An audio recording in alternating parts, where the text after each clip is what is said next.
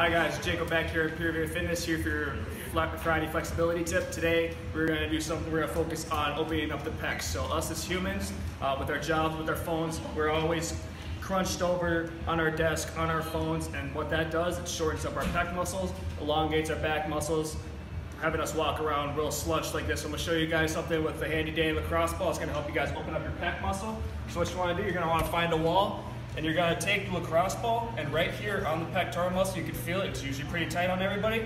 You're just gonna go across the muscle fiber with the lacrosse ball. So you're gonna lean up against the wall and go back and forth, back and forth.